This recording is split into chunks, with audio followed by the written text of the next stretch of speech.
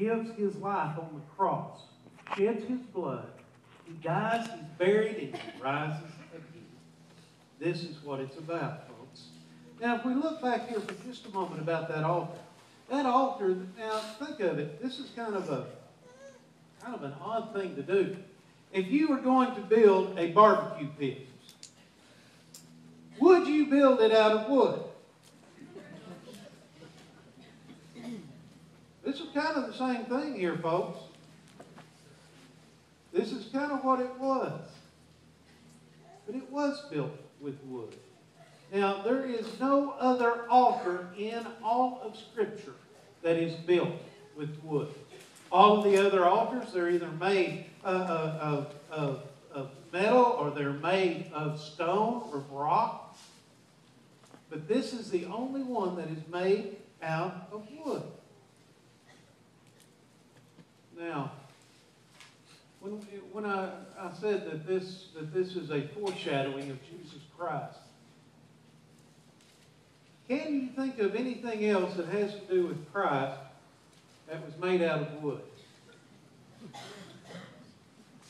Jay, I don't know how I can be any better, any more plain about it. You think about the cross that Christ died upon.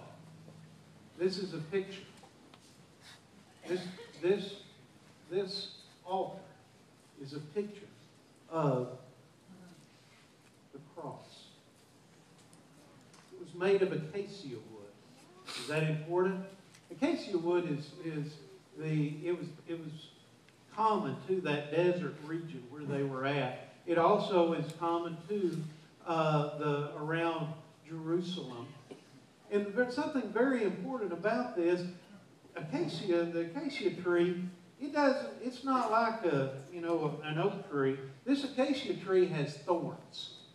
And it grows thorns. And it, it grows it kind of in a vine.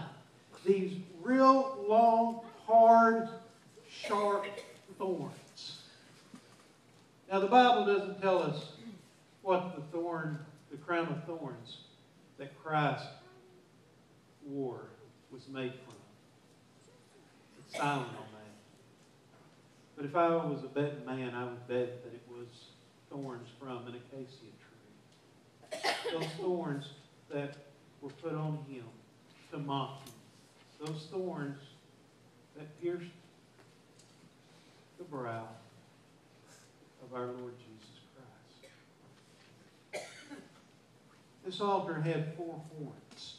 And on these horns, it was literally to take and to lay the animal up there and then to strap it down. Okay? But there's a kicker to this. This is what's really odd. Every single animal that was laid upon that altar, every single animal was already dead. Every single, it was. That dead lamb was not going anywhere. That dead lamb was not going to get up. That dead lamb was not going to jump off. But there was a reason that it had to be tied up there. Remember this foreshadowing? Looking forward to the cross?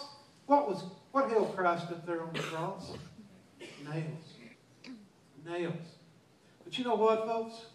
You need to understand this and understand it well. Those nails did not hold him up there no more than they held a dead animal on the altar. Christ gave his life and he gave it freely. He laid it down for us. We didn't take it from him.